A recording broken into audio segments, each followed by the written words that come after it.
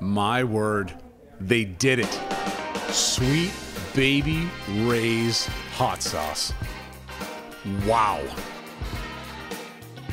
The sauce is the boss.